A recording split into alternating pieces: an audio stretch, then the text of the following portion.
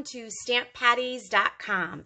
Today my share is showing you how to make this star 3D ornament that will adorn your Christmas tree. So I am using the Tidings and Trimmings bundle that is found in Stampin' Up's annual uh, 2021 to 2022 annual catalog. So let's get started and let me tell you what you're going to need. You're going to need our Simply Scored tool. And we're going to be using the Early, is it Early Evergreen, uh, which is a new color. And we're going to be using our die cutting machine. But here we go. So you're going to need, using the dies, you're going to need the large star. You're going to need two of those cut from the early evergreen. You're going to need a small star cut out with the evergreen, some gold foil to cut out the detailed stars, the large um, and the small one must still be on my die cutting machine. So you're going to need, oh, nope, there it is. Okay, we don't want to lose that. So two gold uh, foil star overlays. The other large star, I picked a piece of the designer series paper that is the coordinating with this bundle. And then this strip is one and a half inches wide by 11 inches long. So let's go ahead and let's get started with these pieces. So using our score tool, we're going to put the one and a half inch strip all the way up in the top corner and we are going to score at a quarter inch um, I need my the little side of my stylus. So we're going to score at one quarter inch all the way down. And then we're going to score at one and a quarter inch all the way down. Then we're going to turn it long ways and we are going to score every inch, okay? So this is an 11 inch long piece of paper. So we're going to score at one inch, two, three, four, five, six, seven, eight, nine, and 10. Okay, so once we get our scoring done, I am going to flip this over and I am going to take some of our tear tape, which is about a quarter inch wide, and I am going to place tear tape on that quarter inch border all the way down.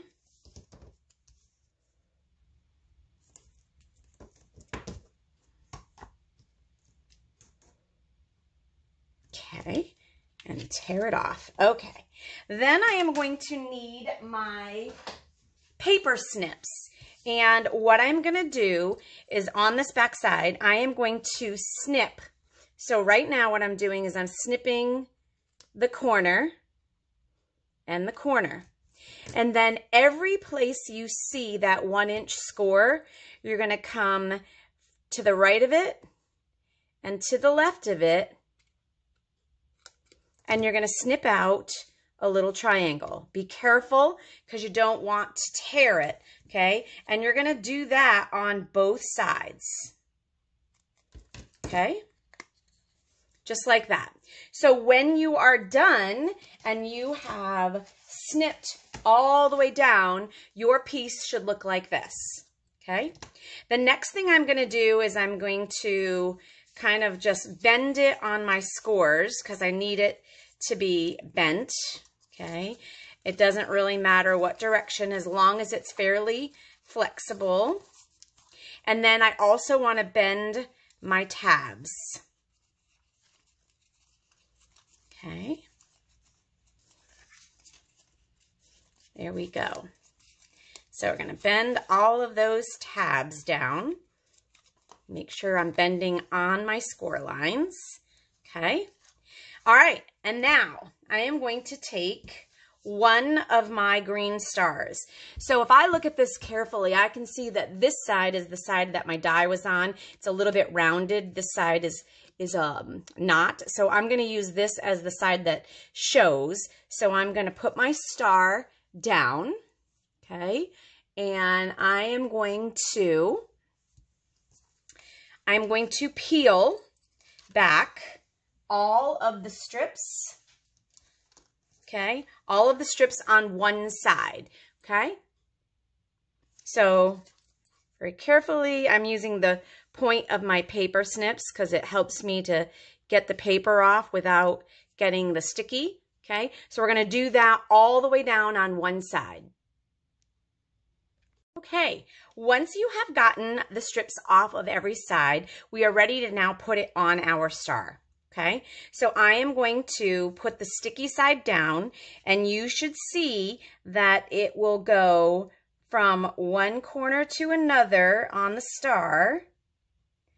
Okay, and then I will turn my page. I'm going to make sure my thing bends at the point of the star and I'm going to then stick it down to my star.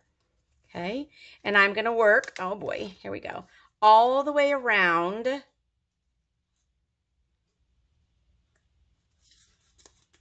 Can you see that? I hopefully it's coming out that you can see it okay.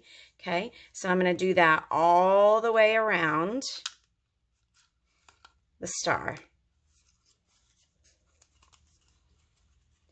So if your scoring is working out well, if you've scored it well and bent it really well, this should be very easy to get it all the way around. Perfect. I'm almost there. So I have an extra one and I just kind of um, am tucking that in. So I actually have double the strength on one of those sides. So, whoop, that's okay. Perfect. Okay. So I'm glued down on one side. So as you can see, I'm now glued down on one side. So now our next step is going to be to peel off the strips on the other side. And when we do that, okay, you're going to see that you have some natural overlays. So you're going to want to adhere those down, okay? I'll show you that next. All right, so I've gotten all the sticky strips off and I was saying earlier, when you tuck this, make sure that the next one adheres to it, okay? So you want to keep that star formation and you want to get those raised edges adhered together, okay? This is the one that we have that is doubled. So I'm going to put this one under and then that one over just to give me some firmness there. Okay, so now I am glued down. I am going to take my other large star and I am going to adhere these pieces together, which is then going to form my 3D star. You can either go to the paper this way, or you can bring the star to the um, 3D portion. I think I'm going to do it that way because I can see it a little bit better. And I can see that I need to kind of push it together to get it to line up. So that was probably the easiest and best way to do it. So there we have our 3D star. So it's going to be time now to start decorating it. So I have my piece of designer series paper. And I am going to use our Tombow liquid glue. So I'm going to put a little bit of that on my DSP. Be sure to get some around the edges so that it doesn't come off. And I'm going to put that on. Perfect. Okay, I am going to use some more of my Tombow liquid glue on my gold layer. And I'm going to put that in the spots where I have a little bit of paper. Ooh, shoot. Okay, paper sticking out. So let's get that so that I can get that adhered onto my star. And the beauty of liquid glue is it allows me a little bit of time to kind of move it about um, if I need to, and it also dries clear. So I also have my small evergreen star and my small foil. So now I'm going to put the two of those together with some dabs of liquid glue.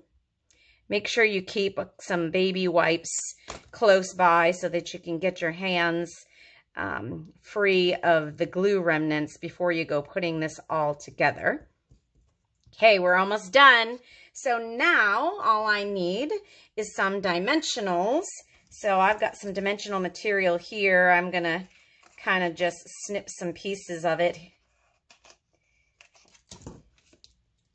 There we go and I'm going to put that on the back of my small evergreen star because I want to pop that up in the center of my ornaments. There we go. Perfect. All right, I've got um, a little bit of gold um, cord and so here's how I'm going to do this. It worked really well for me when I did it yesterday, so we'll see if we can do it on camera. So at the top of my star, I'm taking my paper snips and I'm, I'm kind of whittling like a little hole. And I'm going to do the same on the other side. And then I'm going to hope for a miracle. Ooh, just like I'm sewing, I kind of licked the end of it. I'm feeding it through and hoping, like I said, when I did it yesterday, it came through first try. Of course, it's not going to do that today because I'm on camera. So let's see if I can get this to work. Of course not. All right, my hands are a little bit sticky, so I'm hoping that some of that glue. All right, guys, let me try this again. All right, so to keep my gold cord from fraying, I used a little dab of the liquid glue on my fingers and I kind of glued it together. And so now I think we're going to be ready. So I'm going to feed this through and hopefully it comes, keeping it tighter. Let's see. Comes through, I hope the other side, maybe not. Oh, you guys, this is not fun for, there we go. Okay, got it through.